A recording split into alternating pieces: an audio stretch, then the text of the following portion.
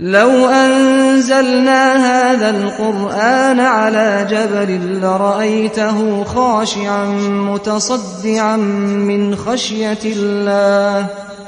وتلك الأمثال نضربها للناس لعلهم يتفكرون.